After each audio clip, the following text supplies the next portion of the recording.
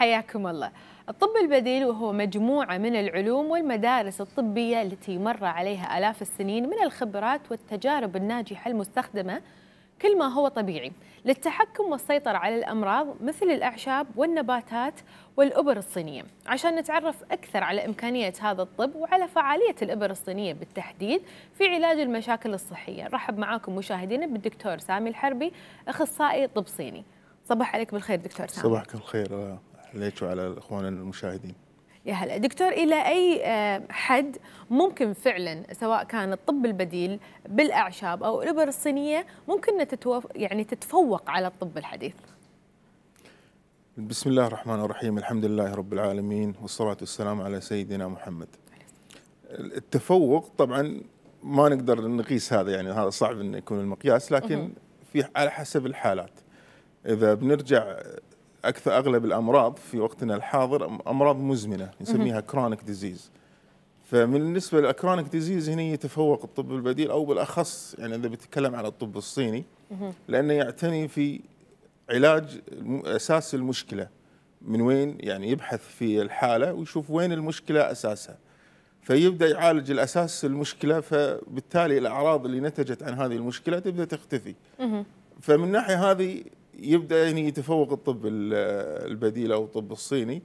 إنما الطب الحديث أنا ما ما أحب إني أن يكون ناقد لكن إنه يكتفي بالأعراض بس فيحاول إنه يخفف الأعراض سواء ارتفاع الضغط أو ارتفاع السكر.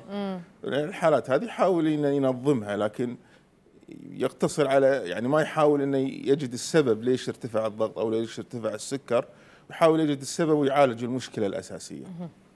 فالطب البديل السبب إنه يعالج يعني أو قدرته على علاج المشكلة من الأساس تكمن في فلسفة هذا الطب أو الطب الصيني. اللي هي أساسا يقسم الجسم الجسم أو الإنسان إلى ثلاث أجزاء. الجزء الأساسي اللي هو الجسد اللي هو يتكون من الأعضاء. نعم. والجزء الآخر اللي هو طاقة الجسم. والجزء الثالث اللي هو الأعلى اللي هو العقل أو اللي هو ما يسمى المايند. فالتفصيلات هذه هذا اللي اللي خلى الطب الح يعني الطب البديل أو الطب الصيني بالأخص إنه يجد المشكلة. لأن في أغلب الأحيان إن المشكلة ما تكون في الجسد ما تكون في العضو. صحيح. يعني الجسد الطب الحديث ينظر للأشعة والتحاليل. مم. تقتصر بس على الجسد. لكن المشكلة تكون بعض يعني في أغلب الأوقات خصوصا في الأمراض المزمنة تصعد إلى مستوى طاقة الجسم، وطاقة الجسم هنا نتكلم على اللي هي الطاقه اللي تؤدي وظائف هذه الأعضاء. سواء القلب، الكبد، الدورة الدموية، الكليتين، هذه كلها أعضاء لها مسارات في الجسم ولها طاقة. نعم. فإذا صار في خلل في هذه الأعضاء أو في طاقة هذه الأعضاء يبدأ يأثر على وظائف هذه وظائف هذه الأعضاء. والمستوى الأعلى والأهم وال يعني هذا اللي دائما هم يعني يكون له تأثير قوي اللي هو المايند اللي هو العقل, العقل. في جسم العقل ما اقصد فيه المخ.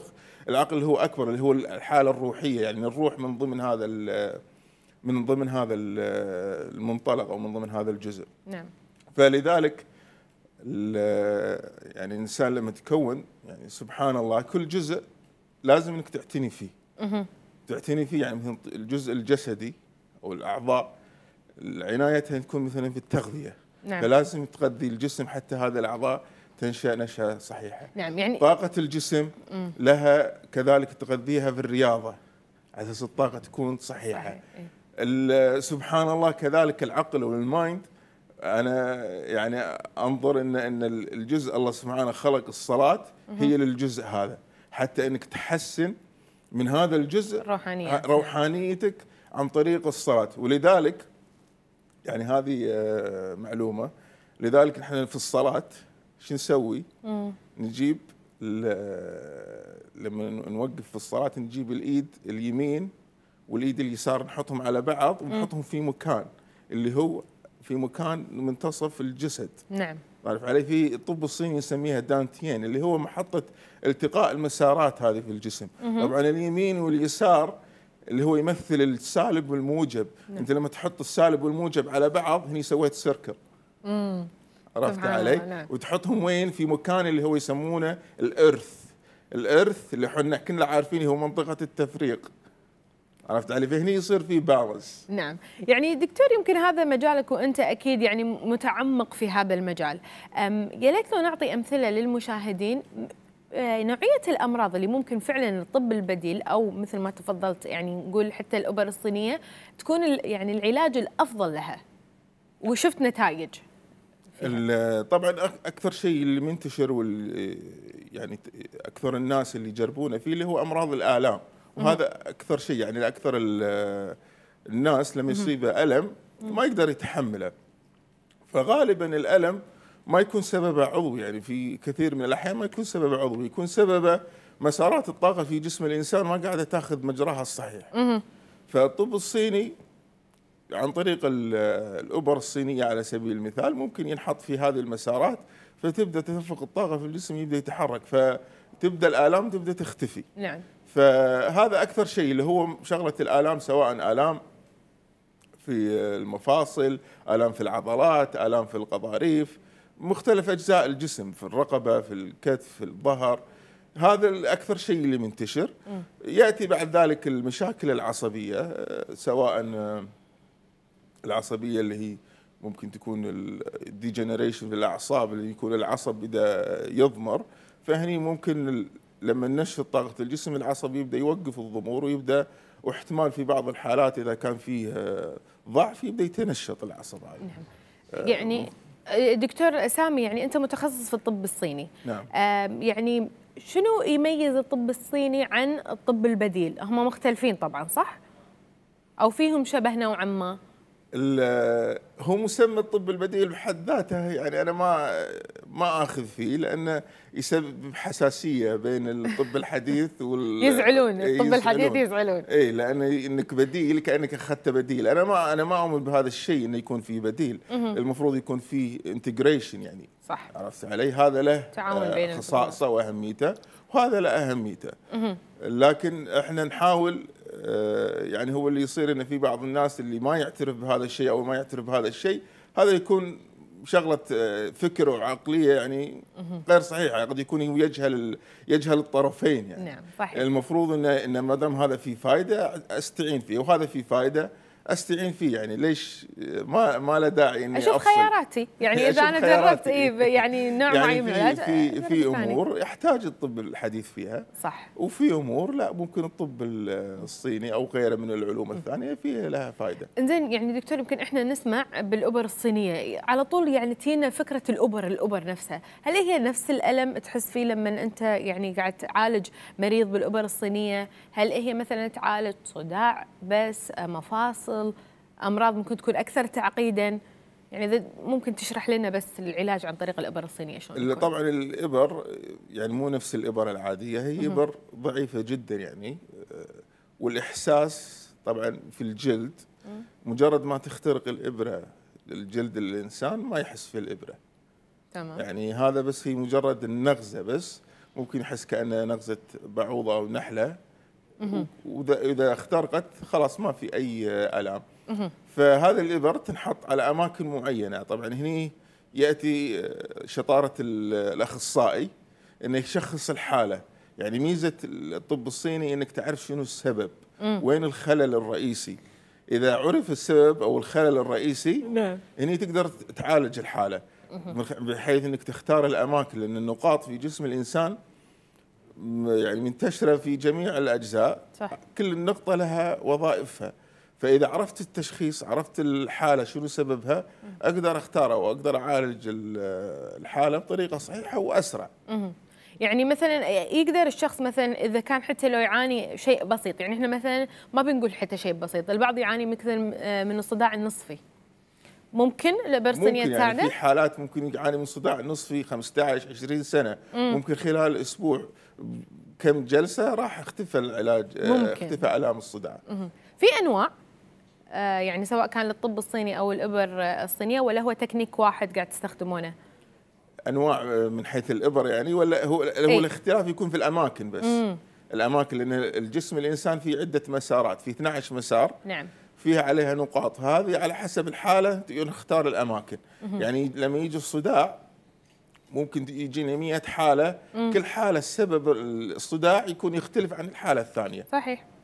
فعلى حسب الحالة نختار الأماكن. وبالنسبة حق الطب الصيني متشعب أكثر؟ يعني هل هو نقدر نقول بحر عميق ممكن إيه طبعا طبعا. يحتوي الكثير من العلوم والعلاجات؟ ال- يعني جسم الإنسان يعني هو كله متعلق في جسم الإنسان. يعني مهما وصلنا نجهل الكثير عن جسم الإنسان. إحنا مع الوقت نبدأ نكتشف أكثر وأكثر في جسم الإنسان. فكل ما اكتشفنا أمور في جسم الإنسان نبدأ نقدر استخداماتنا للطب الصيني تكون أوسع وأكثر. هل ممكن استخدام الأبر الصينية دكتور سامي مثلا لعلاج مثلا الأرق آه، علاج مثلا التوتر الضغوطات النفسية؟ هذه الأمور اللي نقول مثلا شوي فيها جانب نفسي أكثر من ما هو أعراض جسدية ممكن الشخص يحس فيها. إي طبعا لأن مثل ما ذكرنا إن الجسم عندنا الجسد وطاقة الجسم وعندنا العقل ال mind. هذه الأمور النفسية مرتبطة في ال mind العقل. فلما يصير في توتر غضب زعل صح. هذه الأمور النفسية. طيب هذا الحالة النفسية كيف تأثر على الجسد؟ تأثر عن طريقة طاقة الجسم. يعني ها لما يصير الشخص غضبان أو يصير حزين هذا يبدأ يأثر على الطاقة. حركتها تبدأ يصير فيها خلل.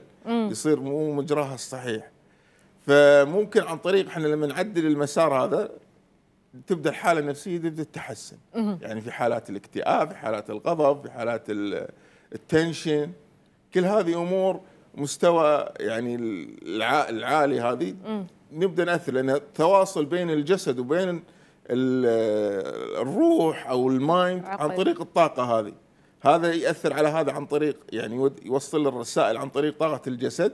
ونفس الوقت الجسد هم إذا صار فيه مشكلة هذا هم يبدأ يأثر روحانيا أو يأثر آه، على المايند عقل ال- الإنسان هذا الشخص بالحالة العكسية. فيعني الحالة يعني بال- بالاتجاهين هذا يأثر على هذا وهذا هذا يأثر على هذا. صحيح. لكن يعني دكتور الشيء اللي قاعد نلاحظه بالفترة الأخيرة أو بالسنوات ال- الماضية انتشار آه، الإبر الصينية أو مفهومها لدى الناس.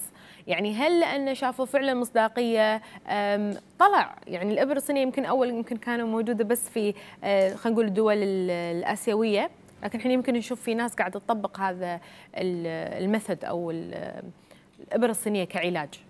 طبعا لأن آه، بسبب النتائج إن أكثر الحالات اللي قاعدة آه، يعني تحاول تجرب الابر الصينية قاعد تشوف نتائج إيجابية قاعدين يتشافون.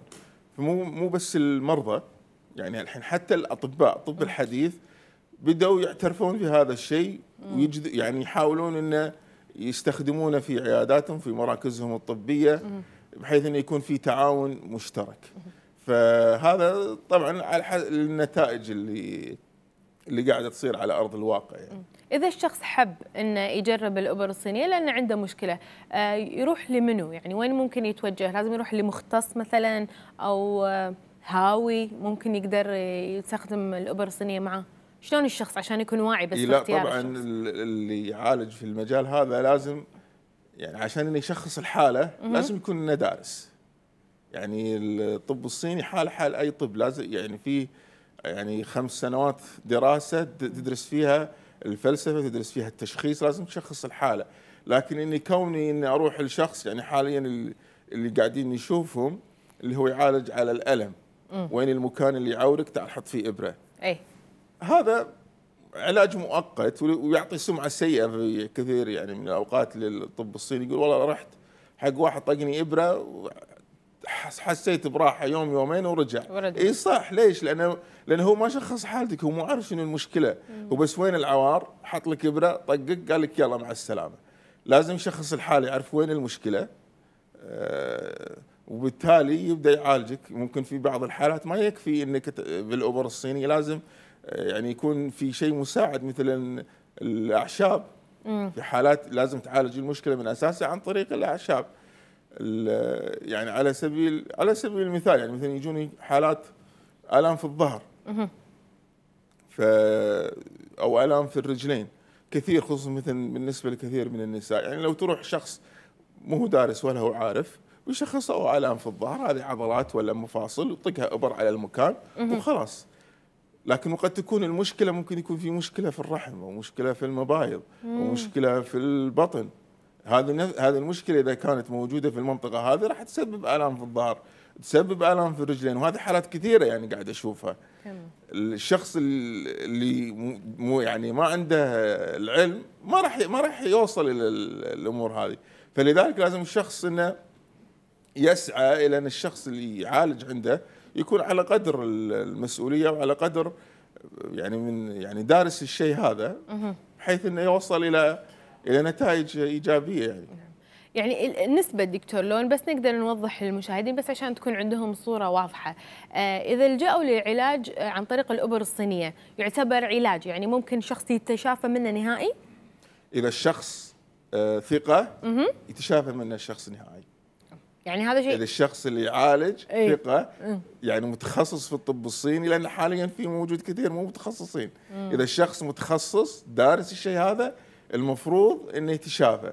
لو بعد شهر شهرين ثلاثة بس راح يتشافى. لأنه يعالج المشكلة من الأساس. تمام حلو. عرفت علي؟ لكن إذا هو ما قاعد يعالج المشكلة من الأساس لا هو مجرد تسكين أو مجرد شغلة مؤقتة لأنه ما عالج المشكلة من الأساس. والحمد لله يعني في عندي حالات يعني صار لها سنين يعني. يمكن الحين يمكن عشر سنوات وتسع سنوات. يعني الأشخاص ما كانوا يمشون من آلام الظهر وتخصص لهم عمليات أي. لغاية الحين قاعد يدقون علي يقولوا من هذاك اليوم إلى اليوم للحين ما. اشتكينا من الظهر الحمد لله يا رب الحمد لله لكن دكتور يعني ك يعني مثلا في بعض الأدوية يكون عندها مثلا side effect عوارض جانبية آه، ممكن تأثر سلبا آه، سواء كان الطب الصيني أو الأبر الصينية في ممكن الشخص يعني يعاني مثلا ألم من بعد مكان الإبرة أو بعد كم يوم يمكن يحس بتعب إرهاق شنو ممكن العوارض تكون. ال- السلبيات الحمد لله يعني تكاد تكون معدومة. يعني وحنا نتكلم هنا على ال- ال- ال practice الصحيح. يعني ما نتكلم على إن اللي قاعد يستعمل الشغلة كتجارة. يعني نقول practice صحيح الشغلة ما فيها الطب نفسه ما في أي مشكلة. لأن هي الإبرة نفسها ما فيها أي دواء مجرد تنحط في أماكن مخصصة في الجسم تحفز الجسم هو نفس الجسم يبدأ يعالج نفسه. بس لازم تحط الاماكن في مكانها الصحيح أساس ترسل الرسائل الصحيحة للجسم أساس يعرف شلون يعالج نفسه. يعني انت انت قاعد توجه له رسالة في المكان اللي قاعد تحط له. يعني مثلا تحطها في مكان يخلي دقات القلب سريعة. تحطها في مكان ثاني يخلي دقات القلب بطيئة. لازم انت تعرف تسوي ال- التركيبة هذه من. الأماكن على أساس تعرف انت شنو تبي الرسالة توجهها للجسم. عرفت علي؟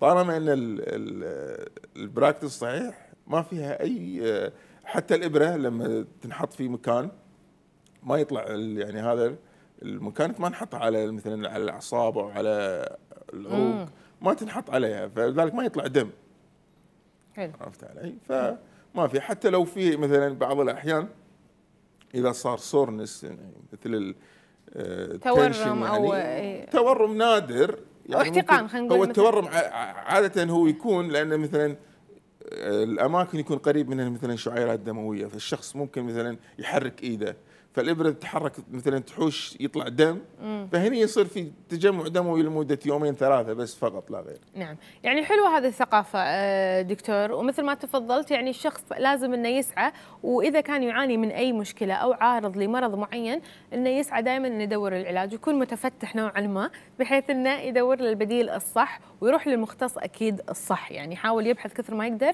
عن الشخص اللي بيعالجه وبيسلمه جسمه للعلاج.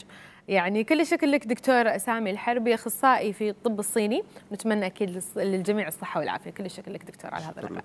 حياك الله مشاهدينا نطلع فاصل صغير ونرجع لكم.